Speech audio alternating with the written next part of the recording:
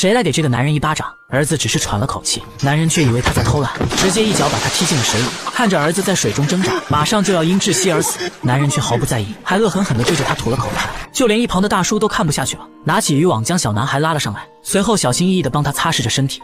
정의사도예요공부공부잘한다나아나들내면생각하나보세 然而男人很快就得意不起来了。这天，警察发现寻人启事上的照片竟和男孩长得十分相像，这可把男人急坏了。为了捍卫主权，直接一棍子敲在男孩头上，还装作憨厚的对警察解释自己家的孩子又聋又哑，怎么会是拐来的？说罢还怕他不信，又一拳打在男孩耳朵上，男孩却纹丝不动，仿佛早已习惯了这一切。善良的警员仍不死心，他把男孩多出的刘海画了上去，随后突然注意到下方的身体特征，又赶忙拉起男孩的上衣，果然腰间有道烫伤。警员断定眼前这个男孩就是被拐来的。为了验证自己的猜想，饭桌上他旁敲侧击询问男孩的身世，然而村民们却都默契的只字不提。警长看气氛不对，也让下属不要再提这事了。男孩的妈妈见状，二话不说，一巴掌就拍了过去，随后拽着男孩的手，不知把他拖到了何处。直到傍晚，他们才从集装箱内找到男孩。被拴上链子的他一脸惊恐。救下男孩后，警员更加确定他是被拐卖过来的，而警长却让他不要多管闲事。寻人启事更是连看都不看就直接丢掉，在门口将一沓钱递给了下属，其中的含义不言而喻。而刚刚还信誓旦旦说会帮助男孩的警员，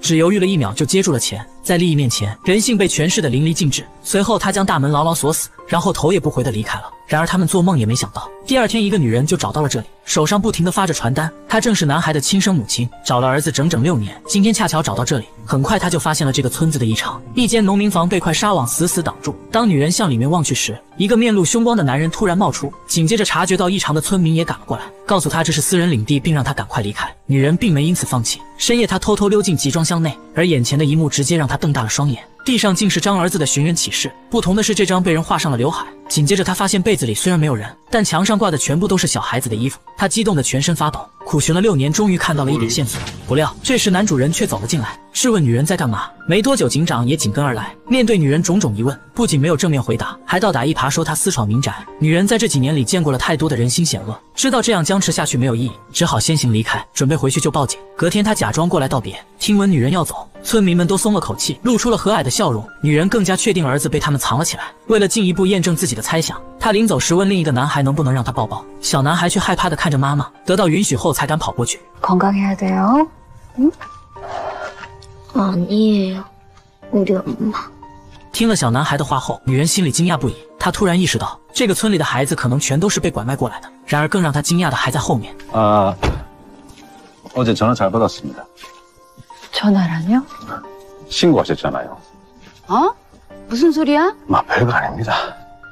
屋顶上有个软砖的不旧房，原来这里的民官早已勾结在了一起，编织成一张巨大的利益网。而凭她一个女人根本翻不起波浪。而她却不知道此时的儿子，因为他的到来被村民们锁了整整一天。另一个孩子偷偷告诉男孩，他妈妈来过这里。男孩沉寂的心一下被唤醒。晚上趁着人贩子都在熟睡，他们偷摸溜了出来。可村子里人均都是人贩子，很快便有村民发现了他们。没等两个孩子走出去多远，便被和村民狼狈为奸的警长逮了个正着。眼看又要被扣上手铐，遭受一番毒打，女人却在这时突然出现，大声叫着儿子的名字。男孩趁乱挣脱了控制，本要扑进妈妈的怀抱，可不料一辆车挡住了他的去路。眼看着村民越来越近，男孩只好拼命往大坝上跑。可很快村民就不敢往前追了，因为前面就是防波堤，也是海浪最大的地方。站在那里无异于自杀。可赶来的妈妈却顾不了这些，她一把挣脱开阻拦，看着面前苦寻了六年的儿子，小心翼翼地伸出手，然后安慰男孩不要怕，妈妈在这里。男孩看着朝思暮想的妈妈，心里的坚冰也慢慢在融化。六年来说出了唯一一句话。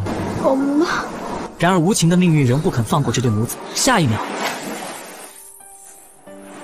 此时世界仿佛都安静了。巨浪带走的不只是儿子的生命，还有一颗母亲的心。等再次醒来，他被村民们绑在岸边。眼前猥琐的胖子对这个城里来的女人动起了歪心思。 풀어줘 죽여줄게 아 씨발 그 지, 지, 진짜 진짜 말말말말하지 씨발 胖子边拖边告诉他，自己会像对他儿子那样温柔。听到儿子的遭遇，女人心如刀绞，她拿起针管直接扎了下去。强烈的眩晕感很快传来， 没等胖子站起身，便一头栽进了海里。女人看着地上儿子画的一家三口，再也忍不住崩溃大哭，同时心里做了个大胆的决定，趁警长还在忙活，她便闯进其家中，二话不说上来就是一刀。可她终究是个女人，反应过来的警长一把将她扇飞，一脚接着一脚重重的踢在女人的小腹上。最后拿出武器，甚至想杀了她。然而警长却忘了，她不只是个女人，还是个刚失去了孩子的母亲。危急时刻，女人使出全身力气，拿起玻璃奋力扎进警长脚上，随后趁机捡起掉落的枪。看着警长惊恐的表情，毫不犹豫地扣动了扳机。不久，村子便被封锁，村民们也受到了相应的惩罚。女人收养了另外一个小男孩，两人相依为命，坚强地活了下去。